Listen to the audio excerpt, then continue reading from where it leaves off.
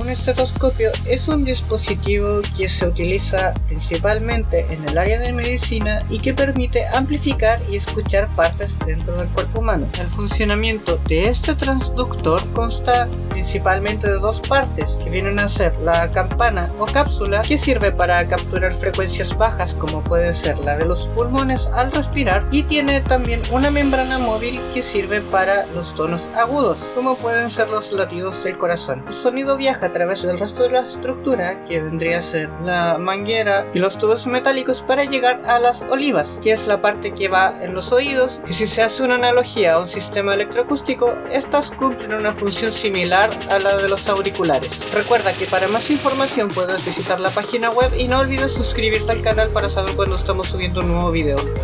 Adiós.